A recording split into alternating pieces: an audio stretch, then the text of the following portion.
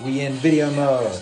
Alright, so first thing I do is I edit the video and then I bring it into my analog rig, which is here.